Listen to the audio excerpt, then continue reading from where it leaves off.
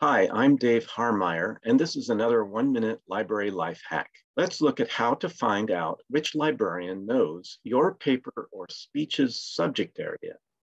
Begin by going to the library's main page at apu.edu slash library.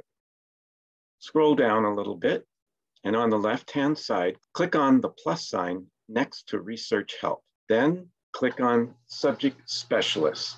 Here you'll find a librarian subject specialist for up to 40 disciplines. For example, a paper on why an animal companion relieves stress. Contact Jennifer Blair, whose area is psychology. A speech about equal education for all students as a matter of biblical justice. Touch base with Liz Leahy, whose area is theology and ethics. Or Lindsay Sinnott, the librarian expert for undergraduate religion programs. For a topic on making a small business grow in popularity, email Evelyn Yee, who is the specialist librarian for business. I'm Dave Harmeyer, and this has been a one minute library life hack.